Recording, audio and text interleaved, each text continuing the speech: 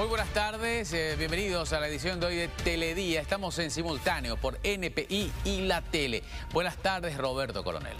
Juan Carlos, buenas tardes, un saludo especial a los televidentes y ya les presentamos nuestros títulos.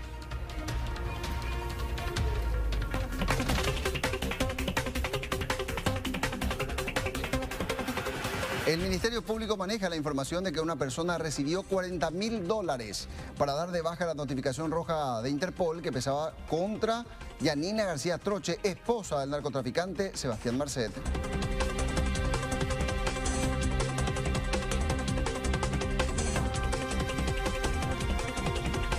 Cinco funcionarios de la Dirección de Aeronáutica Civil, DINAC, asignados para cumplir funciones en el aeropuerto Silvio Petirosi, fueron detenidos al comprobarse su participación en el envío de una carga de cocaína a Madrid, España.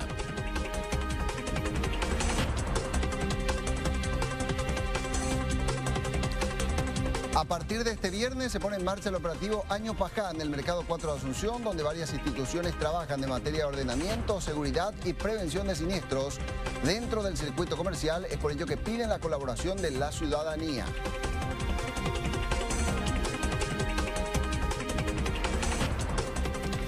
Arranca hoy el plan piloto del estacionamiento tarifado en Asunción. La empresa concesionaria invita a la ciudadanía a descargar la aplicación para teléfonos celulares y de esa manera poder ir acostumbrándose al sistema que comenzará a usarse desde enero del 2024.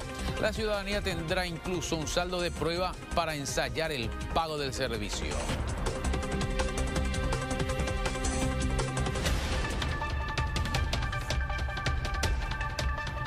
Brutal accidente de tránsito que ocurrió en la ciudad de Luque. La víctima, un trabajador del servicio de delivery que fue chocado por este automóvil y luego pasa encima de la motocicleta.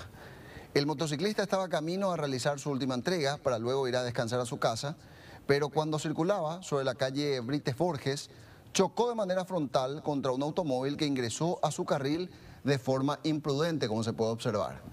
La víctima salió despedida, mientras que el automóvil siguió su marcha pasando